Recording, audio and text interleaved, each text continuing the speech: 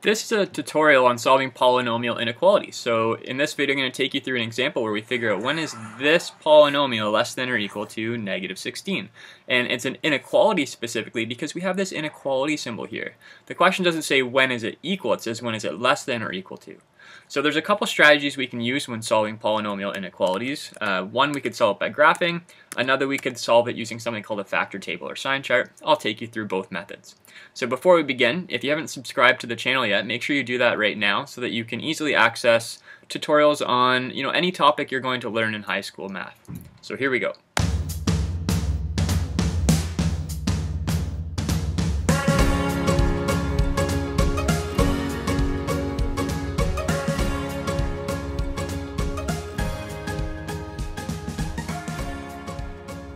So step one, whenever solving a polynomial inequality, is moving all the terms to one side so that it says it's less than or greater than zero. So I'm going to start by moving this negative 16 to the other side. And we can just follow normal algebra rules when rearranging an equation. As long as you remember that if you ever multiply or divide by a negative number, you have to you have to reverse the inequality symbol. But in this case, I'm just adding 16 to both sides, so I don't have to reverse the inequality. It stays just like this. Let me fix that symbol a little bit, less than or equal to 0.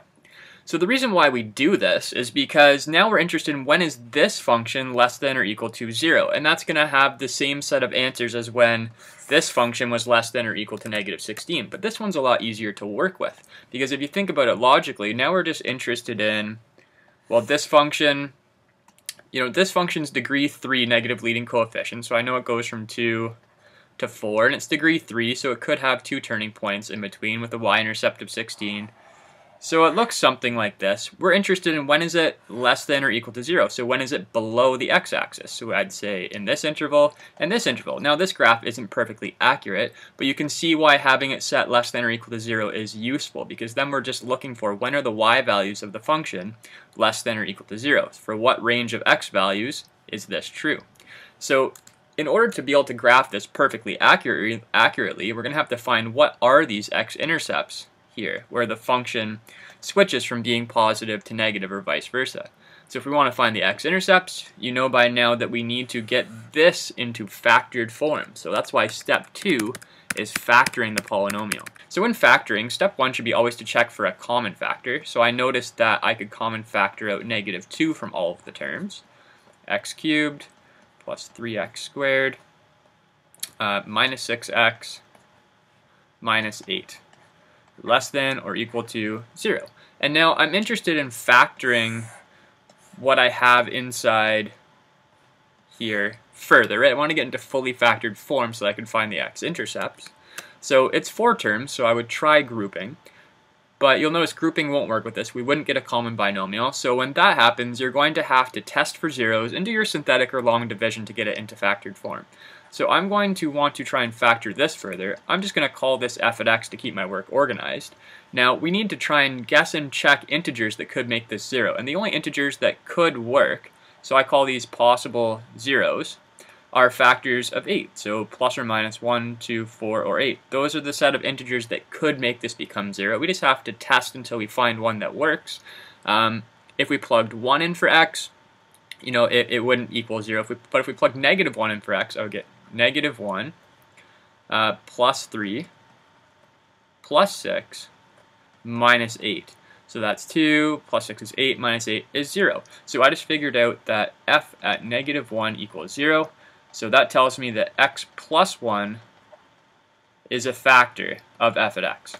So I can, off to the side here, I can divide this polynomial here by x plus 1. And I'll use synthetic division. I think that's a little bit quicker. So I figured negative 1 was the 0. The coefficients of the function are 1, 3, negative 6, negative 8. Do the synthetic division quickly. Negative 1 times 1 is negative 1. 3 plus negative 1 is 2. Negative 1 times 2 is negative 2. Add, get negative 8 multiply, get 8, and there's my remainder of 0. So what I have here is my remainder, my x to the 0 term, my x to the 1 term, and my x to the 2 term that are in my quotient. So I can now factor this to negative 2 x plus 1 times my quotient x squared plus 2x minus 8 with no remainder less than or equal to 0. Now that it's in factored form, oh, I can factor this one further, right? This is a degree 2 polynomial, so it's a quadratic. I can factor that further if I can find numbers that multiply to negative 8 and add to 2. And those numbers do exist. They are 4 and negative 2. So there we go. Now that's fully factored form, right? Each factor is degree 1. Um, and I have this constant factor in front. I could divide that over, but then I'd have to reverse the inequality. So I'm just going to leave it just to keep this as straightforward as possible. So I know this function has x-intercepts at x equals negative 1, negative 4, and 2, right? Each of those values would make each of those values would make this whole product become 0. So this tells me when it's equal to 0, but I want to know when is it less than or equal to 0. So we're going to use those x-intercepts as the dividing points either in our graph or in a factor table. So I'll show you both methods. So our graph, we know there's x-intercepts. I'll just roughly plot them at negative 4, negative 1, and 2. And the function, remember, this is the factored form version of, so it's the factored form version of this function. So it had a y-intercept of 16. So let me just roughly plot that as well. I mean, the y-intercept isn't really useful uh, for this, but just to keep the graph as accurate as possible. And remember that function up there, we already talked about it. It was a negative leading coefficient and an odd degree, so we know that goes from Q2 to Q4. So I know it's going to go from here to here. And if you look at each of the factors, each of the factors was order 1, so I know it's going to go straight through at each of the x-intercepts. So the function is going to look something like this. So that's a very rough sketch of what the function would look like. And now we're interested in explaining when is this function less than or equal to 0. So for what x values do the y values of the function go to 0 or below. So we would be interested in this part of the function and also this part of the function. In those two intervals, between x values of negative 4 negative 1, and between 2 and infinity, the y values of the function would be negative. So that's going to be the answer to our inequality.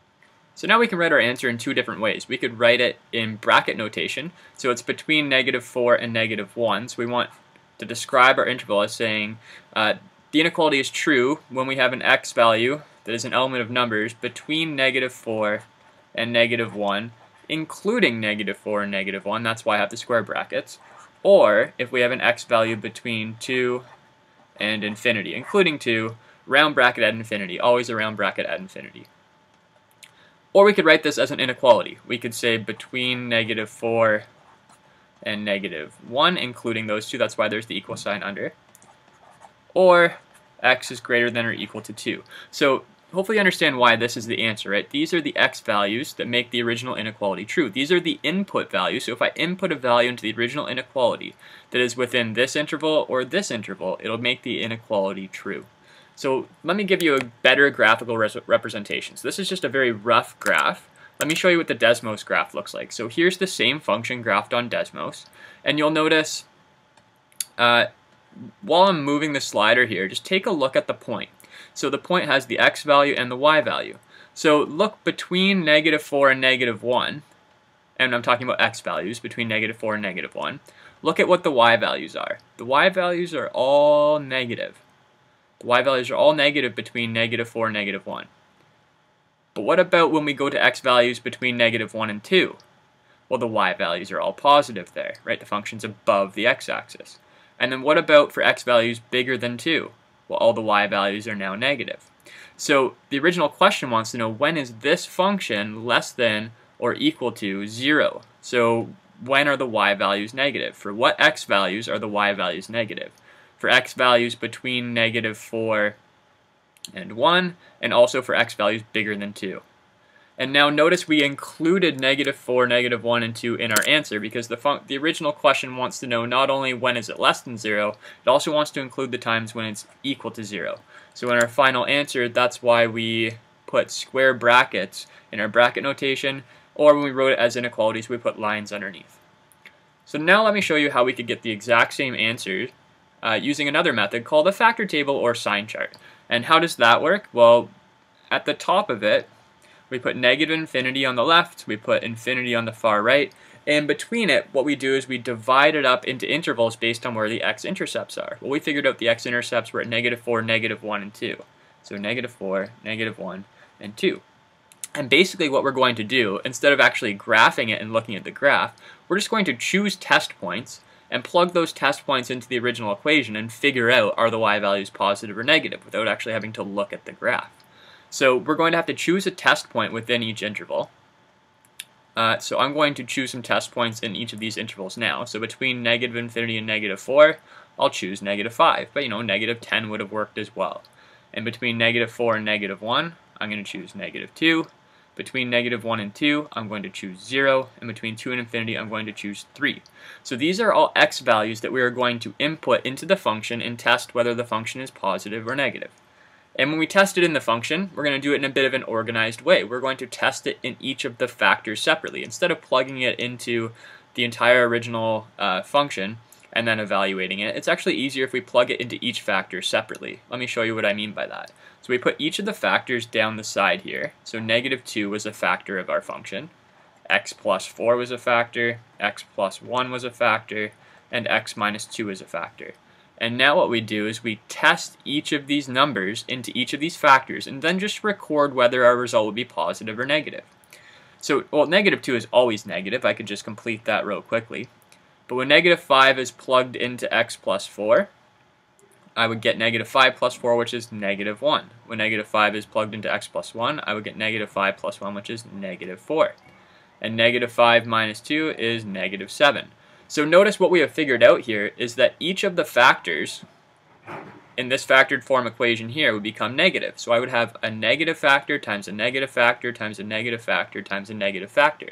An even amount of negative factors gives us an overall result of a positive function, meaning that it is bigger than 0 at that point. So this is not part of our answer. Notice the function in that interval we just tested, in the negative infinity to negative 4, the function is positive. That This part of the function all is positive y values.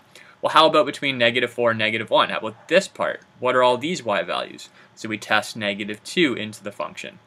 And it makes this factor positive. It makes this factor negative. It makes this factor negative.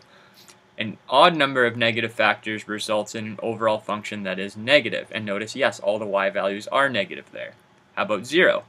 Positive, positive, negative. We have two negative factors, which results in a positive function. And look, the y values in that section are all positive. Test 3, positive, positive, positive. So we have one negative factor, which means the original function has negative y values in that section. So we just use the x-intercepts as the dividing points, and then choose test values in each interval, plug them into the factors of the original function, and figure out the sign of the original function. And notice how this table reveals the final answer to us. The original question said when is it less than or equal to 0, so when are the y values negative in these two intervals, so between negative 4 and negative 1, and between 2 and infinity.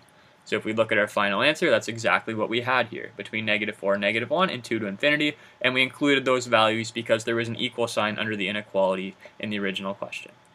Alright, so that's the end of this tutorial hopefully it helped. Make sure you go to jensenmath.ca if you haven't been there yet to get any uh, supporting materials and some extra practice questions, and also make sure you subscribe to the channel.